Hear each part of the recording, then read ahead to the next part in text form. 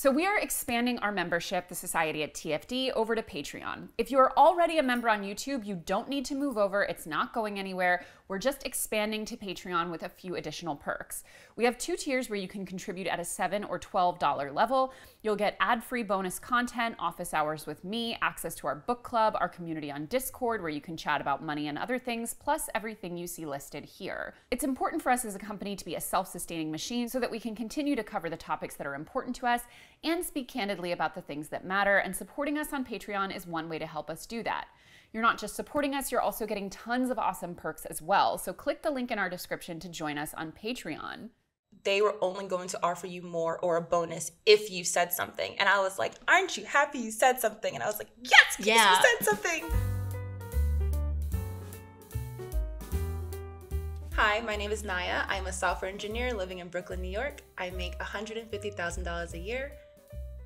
Yeah, and you're 26. and I'm 26. Just turned 26. Birthday girl. Yep. Hi, my name is Casey, and I live in Philadelphia, Pennsylvania. I make $77,500 a year, and I am a mechanical engineer at an engineering consulting firm. Oh, and, and I'm 26 too. Do you have any debt? Yes, a lot. I I have student loan debt. I have now a mortgage, which is the new one to think about every single day. I graduated with $120,000 in student loan debt. I am now at $77,000 and I graduated three years ago. So um, that was uh, and not having like interest being raised. Oh, and that's the thing. I have no interest on, on my loans. I paid off all of the interest on my loans and paid off some loans along the way. So that is where I am right now. So I also have a lot of debt. Um, student loans. Uh, that's that's where all my debt is right now. I don't have a mortgage yet. You know, fingers crossed soon. Yay, debt. Um, and I'd say I have more debt than you um, with student loans. I uh, I have chipped away at it. Um, I've, I have about 15k down. Um, and fingers crossed that the student debt cancellation goes through. That would be another 20k for me. Mm-hmm. That would be great. And um, yeah, that's all the debt I have. That's my answer. Okay. How much do you pay for rent? Is it listed average or high for your area? I pay 1600 in rent and it's actually a good deal for my area. My landlord was very generous. Actually, I live in a house, well, I guess a row home townhouse, whatever you call that. Um, I, I rent the whole thing. Um, it's three bedrooms, one and a half bathrooms uh, for sixteen hundred a month. Is that how much you pay, like total rent, or how much your share is? Um, that's total rent. I've been living alone for a couple months now, and my soon-to-be roommate is coming in this this month actually, and so I will be paying eight hundred. He will be paying eight hundred as well. Cool. Yes. So lucky. For myself, I recently bought a house um, in East Flatbush. I was able to buy that house for $645,000. And before then, I was living in an apartment in Brooklyn. It was for 2500 that was being split between my boyfriend and myself. And yeah, getting into this house buying process, it's it's been a lot. And continuously continuing to learn the ropes, um, it's been a lot. the monthly payment right now they did like the mortgage interest and pmi yeah. that's all 4500 so i just put like let's budget for $5000 a month because i am unsure what the utilities are going to cost just because we're not paying utilities yet uh, it's a lot more than I was hoping for, like especially knowing people before when they were saying like they were able to buy houses and mortgage was like equal to their rent or less than. Um, I went in at a time where I was like, that's just not. I mean, it's also New York, you know. I know, but it's like it just going in like that's just not going to be the reality for me since yeah. the rent originally that I had was twenty five fifty. And talking to my neighbors, um, my neighbors actually told me that I got COVID prices, which was wild at the time because I thought like we were trying to find apartments for twenty five hundred for our rent, and it was very hard to find what we wanted. So to find out that our building was more expensive and they dropped the price because of COVID, I was like, oh, we wouldn't have even been able to oh, afford this at some point. So I didn't know that. Yeah, but um, very grateful I'm able to afford the house now, and Um, my mom's very proud of me. Well, my family and friends are really proud of me. Yeah, we're all proud of you. I'm so proud of you. How do you know each other and how did we meet? Okay, so we know each other from high school. We met freshman year. Um, Casey transferred in a little bit later, but at the time I was volunteering in the library, and I was told that there's a new person working in the library, and I was just like, oh, I want to meet who's a new person, and there was Casey. So I'm like loading books up in the stacks, I think, like out in the in the in the back. It's like really quiet and dusty, and suddenly this really bouncy cheerleader comes in with her with her sweatshirt and like repping the high school. You got one. You had I remember distinctly. You had one earbud in, and the other one was dangling out, and I could hear the music like fully. yeah. It was also really quiet in the stacks, so it's easy to hear. And you're like, "Hey, my name's Naia. Who are you?" And I'm like, "Wow, this is a strong ass personality. You were a shining beacon in this darkness and in the stacks and also just in the darkness that was transferring high school when you're like 14 15 it sucks. So you were you were wonderful. And yeah so fast forward 10 and a half years later here we are. I like that question. That was an easy question. Was- My next question for you. How did you negotiate your current salary? Is it at, above, below market rate? So in terms of negotiating, um, yeah, I mean, I had a bit of a, a like I already had some experience with the company before it actually came to the salary conversation. Um, I was an intern there for six months, and then I worked part time there for another six months until I graduated college. And that is when um, we did the salary conversation negotiation. Um, he gave me a number. I said, confidently yet also shaking on the other side of the Zoom call um, that uh, I think I'm worth a little bit more than that.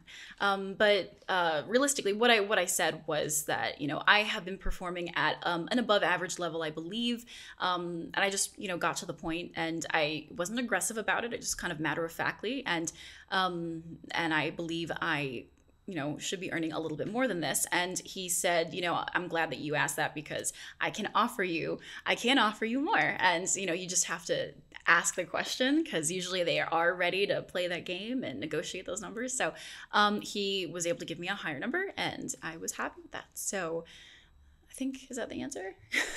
And I just want to add in that she did text me when this happened. She was like. So you did. She texted me when this happened and she was like, Yeah, because you told me how they said they were only going to offer you more or a bonus if you said something. And I was like, Aren't you happy you said something? And I was like, Yes, Yeah. you said something. Honestly, yeah, because I was shaking beforehand. I'm like, I can't do this. I don't deserve more. But I also d- felt like I deserved more because I pulled all nighters for that company, and I was an intern. But anyway, sorry, getting a little emotional. But um, yeah. So okay, now you answer. Okay. Um, the answer is no. I did not. So when I first got hired in to my company, I was told we were told beforehand like what the range was going to be, and I think we were told um, it's going to be.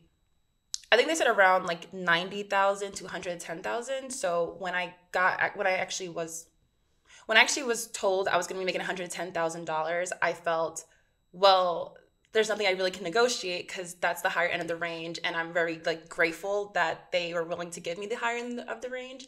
I was in my senior year of college when COVID happened, so having friends who all their um, all their interviews stopped because of COVID, I just kept thinking to myself, I'm very happy I have a job, but then I also felt very like, oh my gosh, what if I don't have that job? Like I don't know what's going on, and that was pretty scary. And there was no follow up, so there was a point where I did message my manager saying like, hey, just making sure like still expecting me in August 2020. We good to go? Yeah. but um I'm just happy that it all worked out for me, so that's really all I can say. Do you have any savings or investments? And what is your best savings strategy? Got it. So I do have savings and investments, and um, it has changed over the years, and it has changed a lot, especially since I just bought a house. So that changed a lot when it came to my savings. But um, my first strategy when I graduated college was to get an emergency fund. So that wasn't something I really thought about when I was in college because at the time I was thinking about money that I needed during school and money that I needed for the summers. Um, when I graduated, I kept hearing about the whole have an emergency fund, and I wanted to have like a certain amount. So I know the first goal was like three months six months, 12 months, and do that much, but I wanted to get an emergency fund. Um, I did set up like the retirement funds. I had a Roth IRA at some point, but I stopped doing the Roth IRA just because um, I get really high taxes in New York. So I just thought I'm just gonna max out um, my other investments.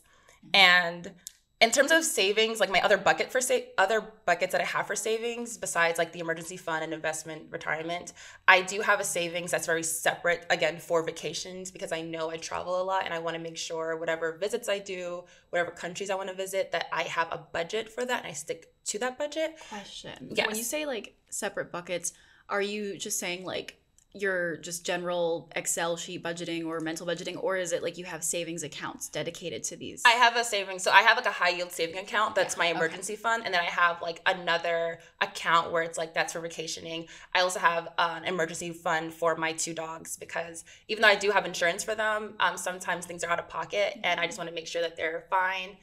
And um, I had a fund for like house and car. So before it was when I was like trying to save up for a house or like if there were things I needed to fix like in the apartment or fix my car, I had that in a separate um account as well. So it's just easier for me to just have all that money come up my come out my paycheck so that I know like that safeguard of seeing a number there and then whatever goes into my checking, I know I can spend. So that's how I break apart my um, sa- savings and investments.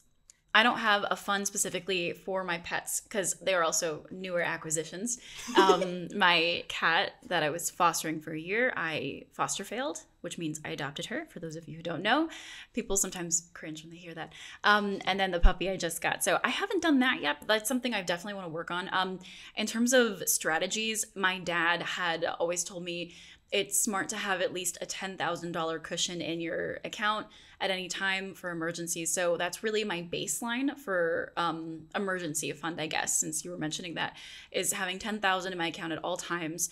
Um, and then anything uh, in addition to that that's in my account, I can use as I please. I obviously have some objectives for the future. I mean, I have savings plans. I have a certain breakdown that I try to aim for each month in terms of budgeting. I actually use the Mint app which is Oh, like yeah too. Yeah no we talked about this that's right we both use it. So i use the mint app which is associated with like intuit like turbotax and all them quickbooks i think all three of those things. But um and mint i like have very specifically like very you know down to the last dollar like really um budgeted for the various categories and um and i try to be realistic you know like you can be ambitious and try to save as much as you can but in reality you're going to have to spend a good amount on groceries every month and all that. Um, and then i have you know i don't want to spend more than a third of my monthly income on rent. That's just you know something that we hear right? And that's that's another thing i, I go by.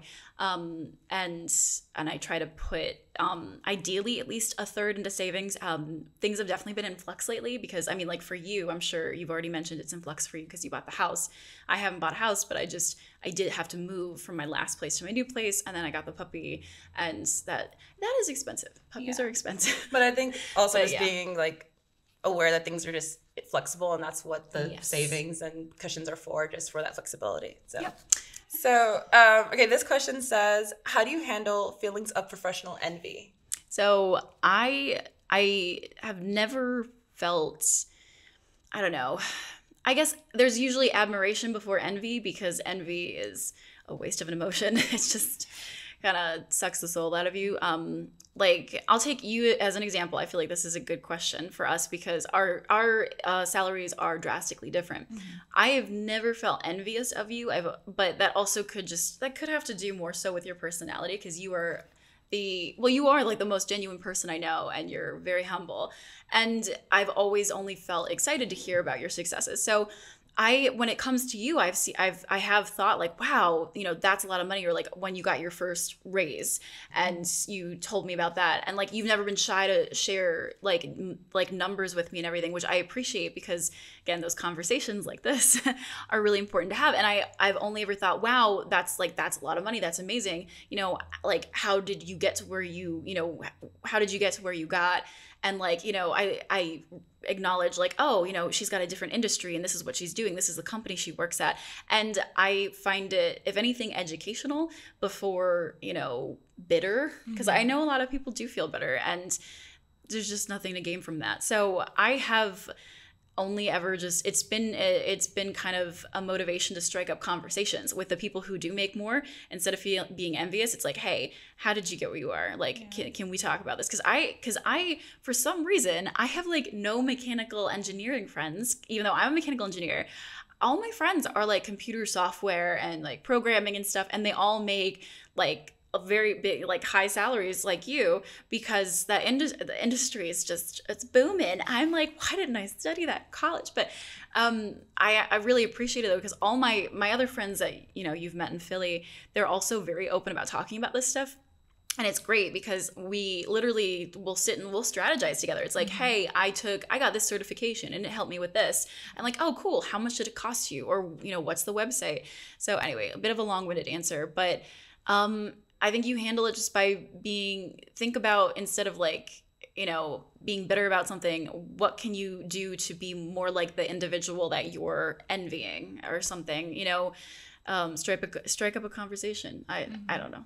This, i feel like that sounds cliche but just i think a strike up a conversation is a good thing because i feel um i watch a lot of youtube and I no, but you mentioning that like the strategizing, I feel me watching like certain like like um interviews or certain channels of people talking about how long they've been in industry or how much they're making. It sort of gave me it gave me expectations of what it is I could work up to, but it also told me like okay, like these are different roles that I might be interested in that I didn't know before whether it's um because this question also made me think about like role envy, like maybe what the responsibilities are or what is it that I see myself trying to do. And I feel like, yeah, talking to different people, I have talked to others who have told me, like, say, if I wanted to switch into like university recruiting, that is something that seems really cool and I can see myself being really good at it. And I love the idea of helping to get students find their place in tech, particularly because that's what really helped me get into tech. And I understand that that would be a pay cut, but I've heard people say it's like the most fulfilling roles that they had. So it's not something that I don't want to pay cut right now in my life, but it's something that I think about in the future. Yeah. So I do think those conversations do help, but I also understand like even for me, my salary is really high, but I'll have people who might have started a year, let's say, after me, who are making more. I don't feel envious towards them, but it does give me insight to um, maybe like the um, type of companies, the cultures of those companies, what is the work life balance. And that's been a huge thing for me about work life balance. Yeah. I'm not super envious if you do not have a work life balance, but you're making so much more money than me. Um, it's still cool to know, especially if it's like something you're really passionate about and some of those roles. But um, I do, I love the conversation about like, yeah, how did you get to where you are? Like, how did you make this happen for yourself? And um, then sharing that information to other people. Like, you've literally done that with me, you know, and I've like, you've given me different career advice and asked me for my resume, which I have not given you yet because I want it to look better and I'm trying to finish my certification. But yes, I I mean like those I I'm glad I have you to talk about these things and my other friends in Philly because yeah, I What are your long-term career goals? Because I I study mechanical engineering and my industry um you want to get licensed. So uh, I'm taking my FE exam first, which is the Fundamentals of Engineering exam. So that will certify me as an engineer in training officially. And then after that, I can take my PE, which will be my professional engineering exam, uh, and that will get that will make me a licensed engineer officially. So looking forward to that. I definitely want to do that before I do any shifting. Um, if I decided to go to down the management pathway.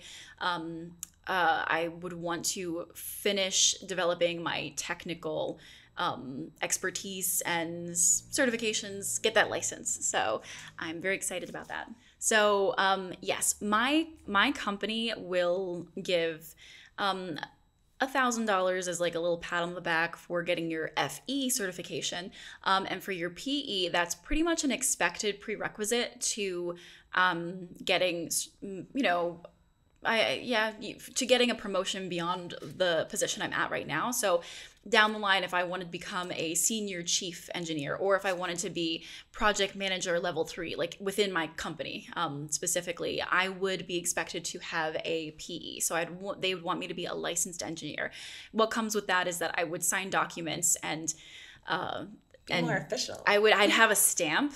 We call it a dongle, I think. It's like it's, it's yeah, it's like on a flash drive or something. Like because now everything's digital. So um, used to have a you know print everything out and send it to the client. These huge rolls of drawings for your buildings. But yeah, anyway, I'll have a dongle. I'll be I'll be an engineer one day. I'm an engineer now, but like I'll be licensed in the future. What about you? So I have a hard time being someone who like tries to plan everything super far out, and I think it was a it was a big transition for me going from college to being a worker. Where with college, you're every year you know what to expect, you need a grade, you need to pass. Versus being a worker, it's like yeah, how do I? What is the level I want to get to, and why? And in terms of me being a software engineer, right now I have been very motivated to get to that next level just because um, I'm a software engineer one. I really want to see myself as a software engineer two. It is a that's a short term goal, but I want to feel like I set this goal out for myself and I'm able to reach it. And I want to then be able to see like I can have ownership on my team. Like I want my manager to know that if he needs me to be more responsible or to trust more things in me that he has the confidence in me and I have that confidence in myself. So that's been a but probably my largest goal is just having that confidence in myself because I know I do a good job and my manager lets me know it. My team does tell me it. And You're amazing. Your friends tell you.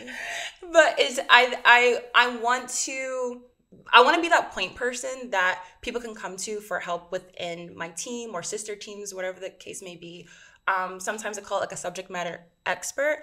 I think for me, it would be really cool to know that like I have gotten to this point of I have this like product or this tool that I'm working on, and I have put in that work and put in that depth of knowledge um, to be that point person for a bit of time.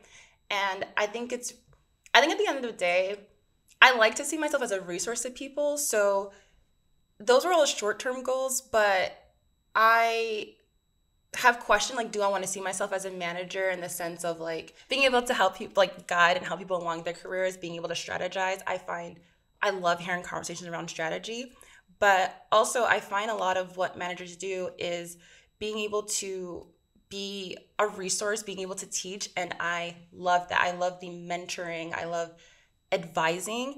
Um, i used to think for a really long time that i wanted to be a teacher uh, I originally wanted to go was to just thinking about that. I originally wanted to go to school for teaching, and my mom was like, um, she was like, um, why don't you go to school for a skill and you can teach that skill when you're ready? And that was the greatest thing for her to tell me because that's exactly what happened. I went to school for computer engineer, sorry, for computer engineering, and I have been a teacher's assistant. I have volunteered in high schools. I have volunteered at like um, Black Girls Code. I volunteer at STEM From Dance, like different things that involve like people coming in and teaching students to get introduced into technology. And that is like my bread and butter. I love, I love doing stuff like that. And but I don't know if that means I see myself like going into like the Department of Education, like being a teacher, or maybe transitioning to a part where I just have that impact with like students or youth to get them more involved. Um, I think one of my greatest resources is sharing the knowledge that I have, and I think I am really good at it. I think I I love when my the teachers that I work with now tell me like, oh, they love how I explain to students because it just makes me feel like, oh my god, I actually I'm good at this. but um, so yeah, it's like I I always tell myself like for me to be get to the point of being a teacher, I want to feel very secure in my knowledge as an engineer. Like I want to feel secure in the work that I've done before I am trying to then teach it. And um that to me is probably like my biggest career goal is just that security and I know what I know. I know what I put all my like time and effort into and I want to then bring in the next people to innovate and make it better. Um Because yeah, I'm probably not gonna do this forever, but um, that's the stuff that like I really. This is what really I'm talking enjoy. about. She's so genuine and humble and caring. Sorry, it's just I I loved listening to that. Okay. What's the biggest financial secret of your industry?